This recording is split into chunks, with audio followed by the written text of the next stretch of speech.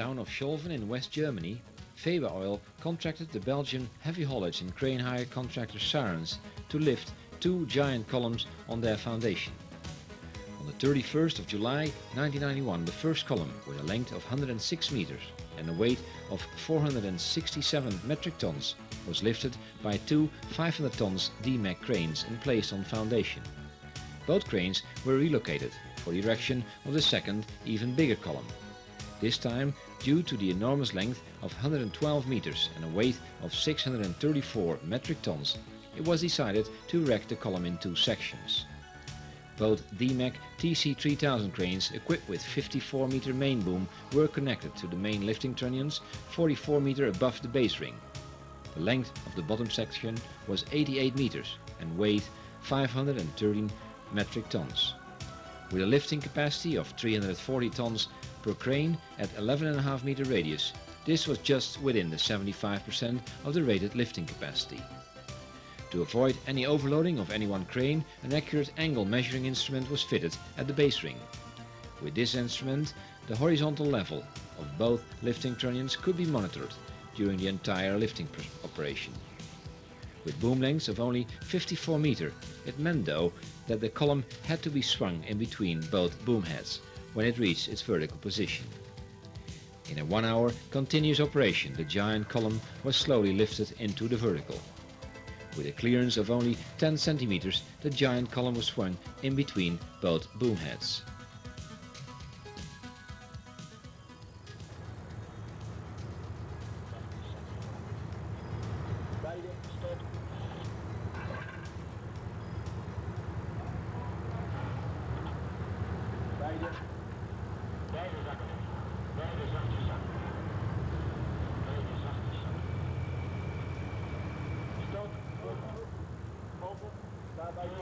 Suspended by two 500 tons Demag cranes, the bottom section was slowly and precisely lowered down over the foundation bolts. Special guides were screwed on top of a number of foundation bolts to help the base ring to be lowered down on the concrete foundation.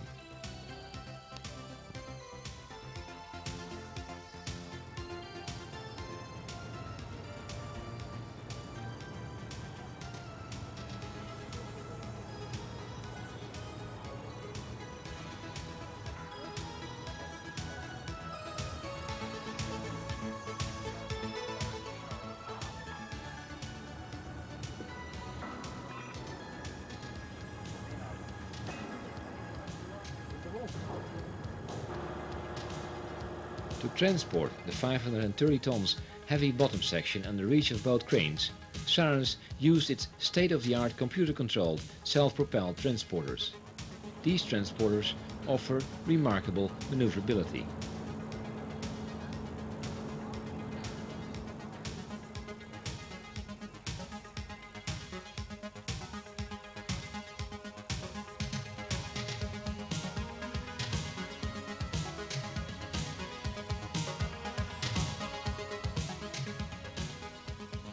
Both lifting tackles were released and the vertical alignment of the bottom section was checked and adjusted within allowable tolerances, whereafter the foundation bolts were tightened.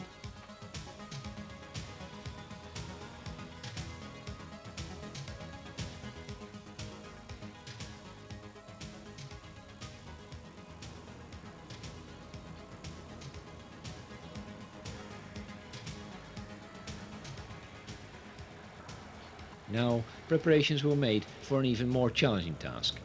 To install the 121 tons heavy top section of the column on top of the 88 meter high bottom section. At Sarens headquarters in Belgium, detailed rigging plans were worked out. In order to execute these complex transport and erection projects, Sarens is a team of engineers who will, after a visit to the job site, prepare the detailed plans to execute a project successfully. The engineering department makes extensive use of computer-aided design drafting techniques. To lift the 23 meter long top section to a height of 88 meters, both cranes were relocated and rigged with 78 meters main boom and 42 meters flying jib.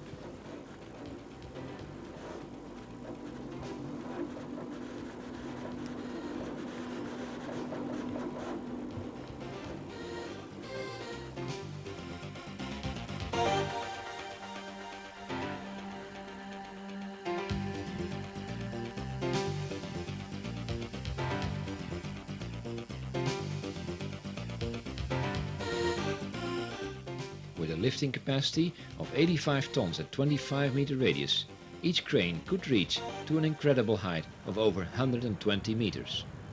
Main boom and jib were assembled and the lifting block was reeved to meet the required 85 tons lifting capacity.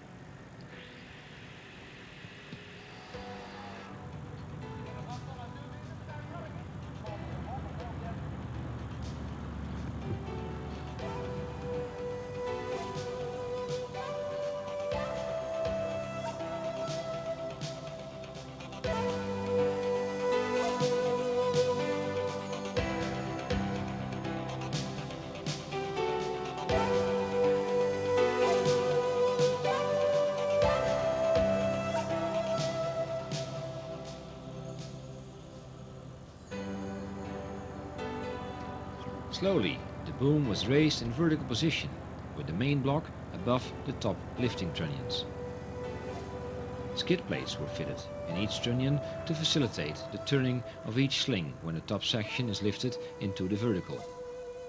Both 500 tons Demag cranes were rigged with an outrigger base of 14.5 meters and fitted with 100 tons superlift counterweight. At the top of the bottom section, special flanges and guide plates were welded to the column shell in order to guide the top section accurately in position. It is obvious that slender columns of this length are affected by wind as can be seen from the 106 meter high tower which was erected a few days earlier.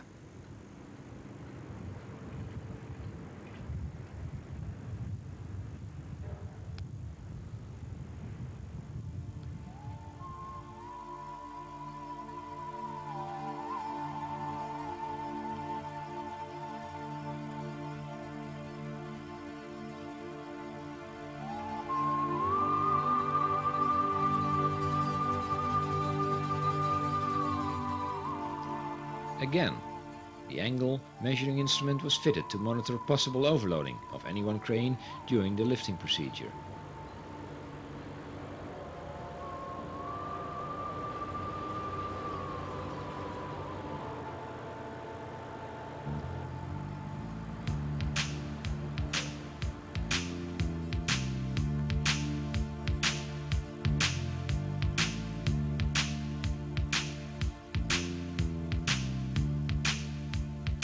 Welding machines and other tools were lifted to the platform on top of the bottom section in order to start welding as soon as the top section has landed. The tail crane slings were prepared and connected to the tail hook and the angle measuring instrument was calibrated and checked.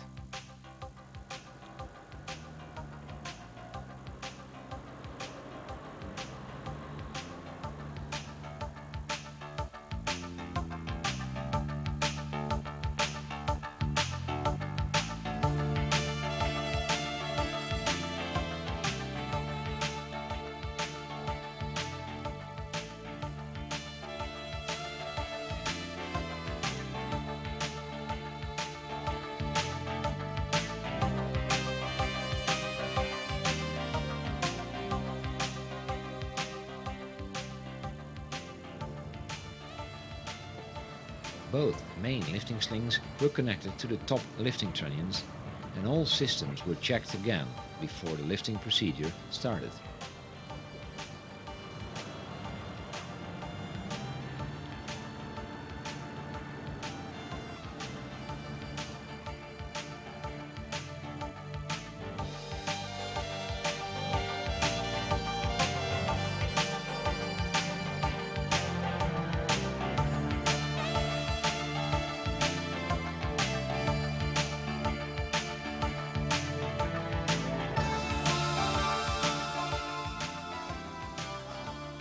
6th of August, the top section was slowly lifted from the self-propelled Kamag transporter.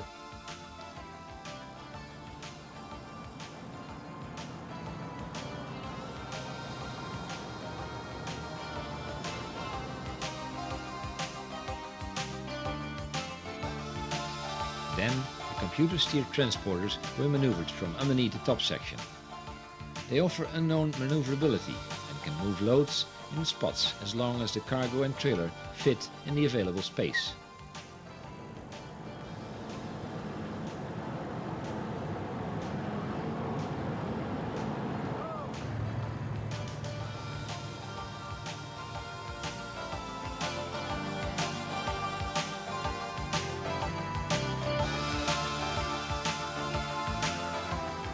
Now the top section is finally lifted into the vertical, while the tail crane slowly lowers the bottom.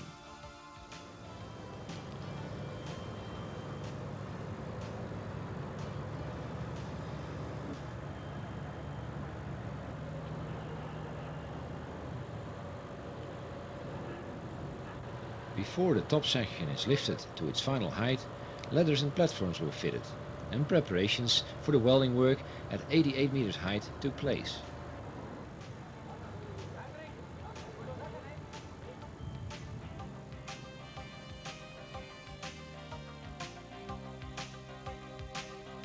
Suspended by both fly jibs at a height of over 120 meters, the top section gradually climbed the sky.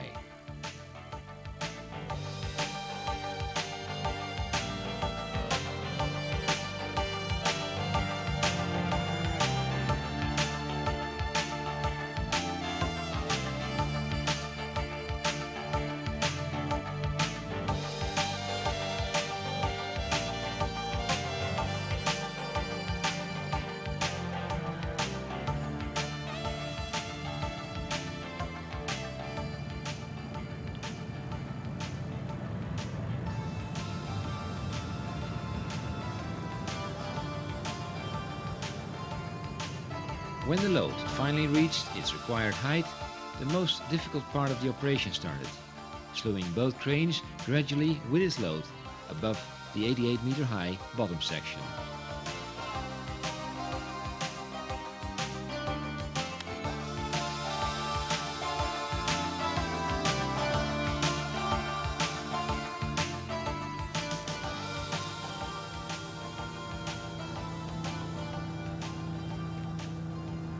Sarens rigging superintendent had taken position on the platform at the top of the bottom section and instructed both crane operators by means of walkie-talkies. Slowly but securely, the 120 tons load was maneuvered above the flanges of the bottom section and gradually lowered down and secured. A well-engineered and complex rigging project came to an end successfully. Remember, Sarens is there to serve your projects as well.